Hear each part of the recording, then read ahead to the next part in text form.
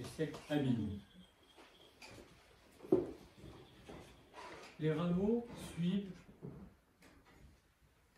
ce que nous appelons le samedi de Lazare, c'est-à-dire la résurrection de Lazare.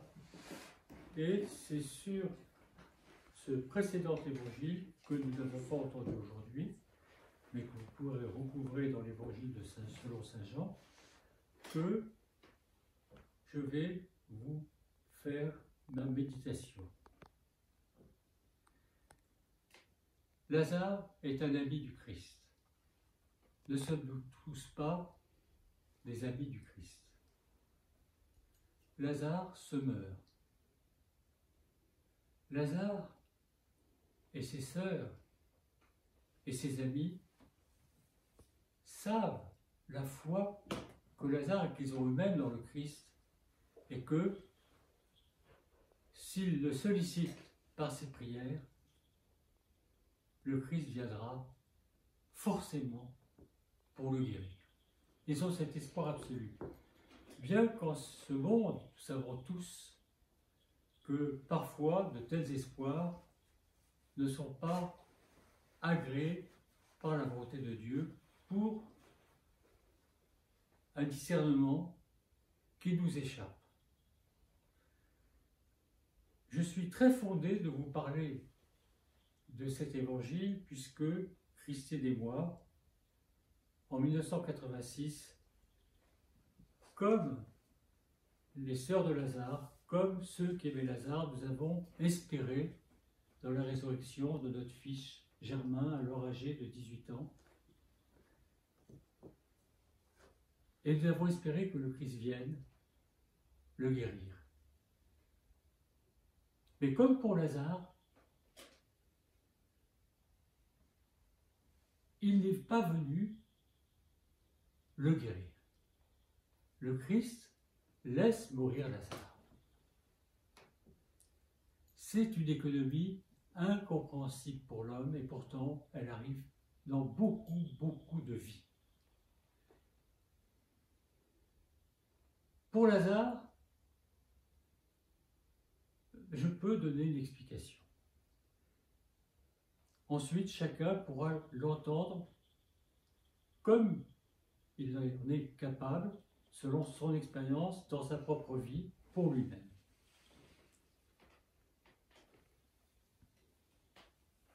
Bien entendu que le Christ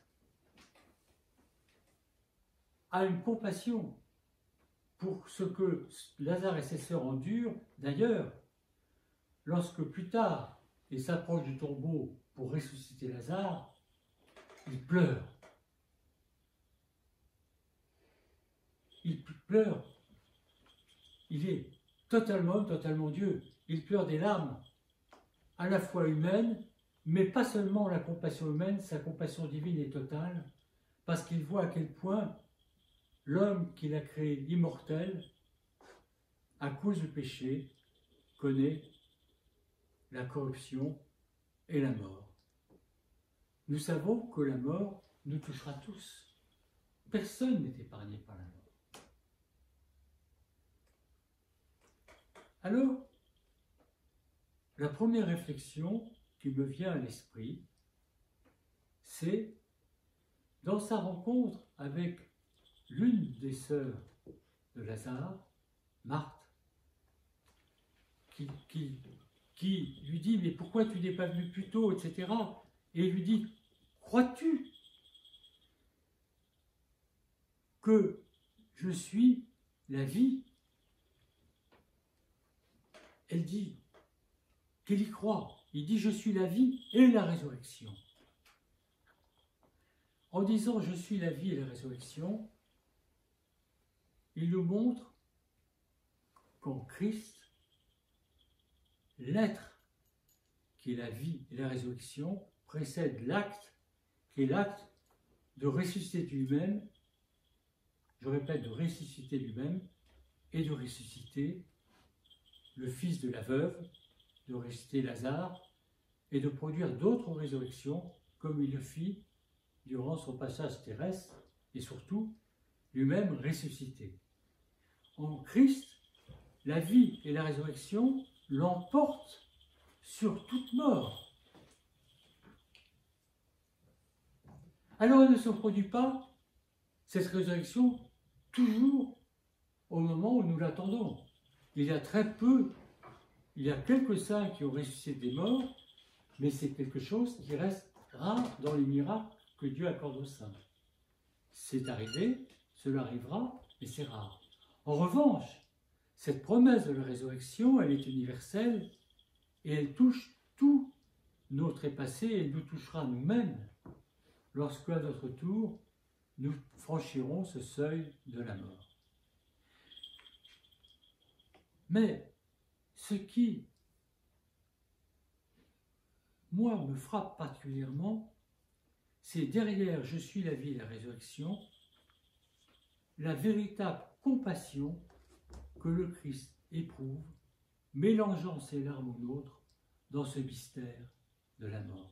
C'est pour moi, ça a été pour nous, une consolation incroyable de savoir que le Christ avait pleuré avec nous parce qu'en pleurant son ami Lazare, il n'avait pas devant lui seulement Lazare. Il avait devant lui Germain et tant d'autres qu'il connaît tous par leur nom et pour lesquels il a tous pleuré et pour lesquels il a tous promis la résurrection. Peut-être pas la guérison, puisqu'il a accepté de ne pas guérir Lazare. Mais il l'a ressuscité, nous promettant à tous la résurrection. Et c'est cette promesse que nous devons voir au-dessus de la mort. Nous n'éloignons pas la mort de nous. Elle surviendra quand Dieu le décidera.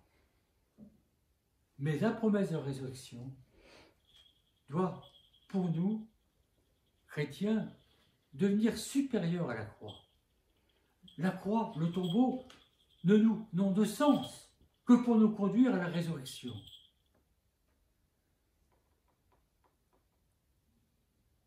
Ayez chez vous l'icône de la résurrection du Christ, pas seulement une croix. La croix, c'est le levier qui conduit à la résurrection. Le tombeau, c'est là où se produit la résurrection. Mais la fidélité, c'est la résurrection.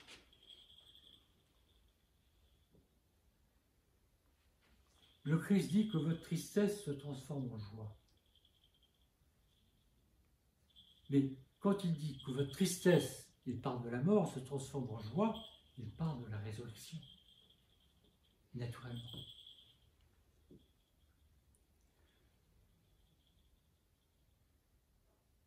Nous voyons le Christ comme homme, mais je le disais aussi pas seulement comme homme, comme Dieu qui s'endeuille sur toute sa création qui s'est éloignée de vie par la première chute de nos ancêtres, pleurer, et dans sa divinité, ressusciter Lazare.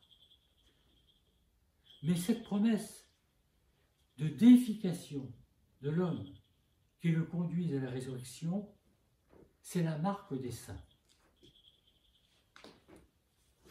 Un saint, j'ai approché des saints. Je n'ai connu aucun saint.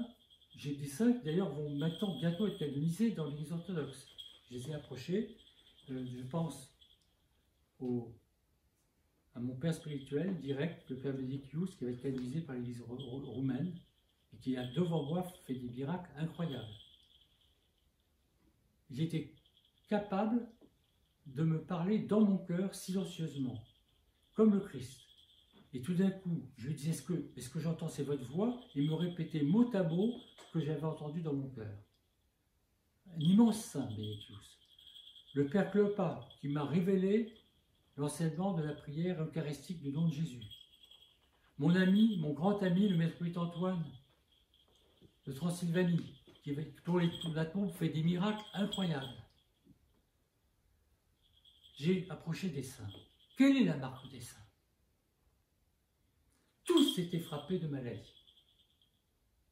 Pas un n'était épargné par euh, un fardeau physique.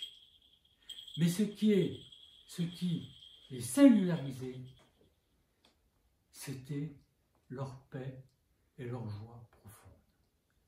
C'est-à-dire que l'on sentait dans cette paix, dans cette joie, ce que l'on peut lire dans la vie de Saint Séraphin de qui lorsqu'il voyait quelqu'un lui disait « Ma joie, le Christ est ressuscité ». Ils étaient porteurs de la vie résurrectionnelle.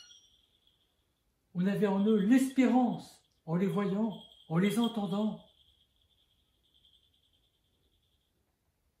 Malgré des faiblesses humaines, parfois même dans le caractère. Je pense à mon ami le maître Antoine, qui avait, au jeu des hommes, n'était pas du tout un homme parfait.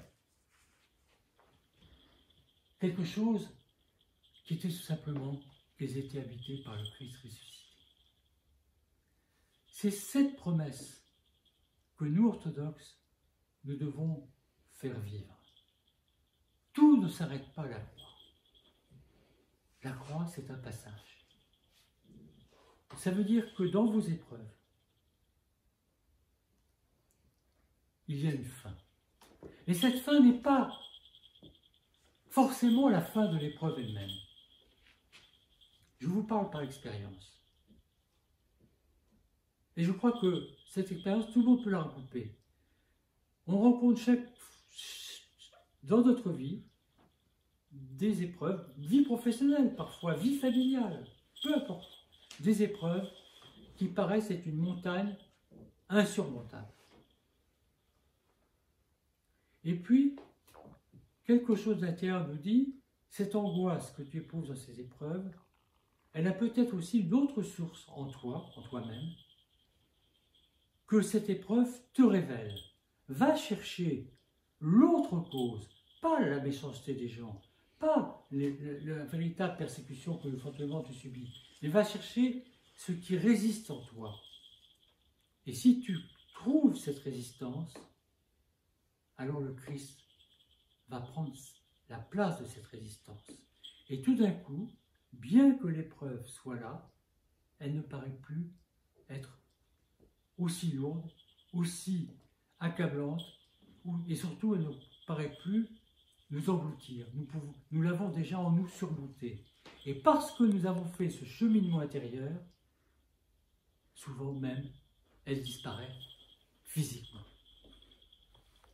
Donc, l'épreuve n'est qu'un passage, elle n'est pas un aboutissement, elle est une porte qui nous conduit, si nous sommes chrétiens, à la résurrection. Et la résurrection nous fait glorifier la croix, nous fait glorifier le tombeau. Mais c'est la résurrection qui donne tout son sens à la croix et au tombeau. Glorifions le Père, le Fils et l'Esprit Saint, seul Dieu dans tous les siècles des siècles.